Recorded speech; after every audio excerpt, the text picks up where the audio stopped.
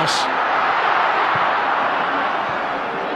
Pepe still battling for it. Ronaldo, who's used his arms. Yeah, Messi. You get onto the return. There did he, Lionel Messi. Yes, yellow card and no complaints. Yeah, the from the Argentinian Argentinian. using his hand.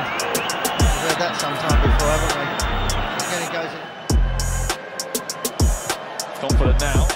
Might be uh, a little bit less com comfortable after uh, Cristian Rodriguez.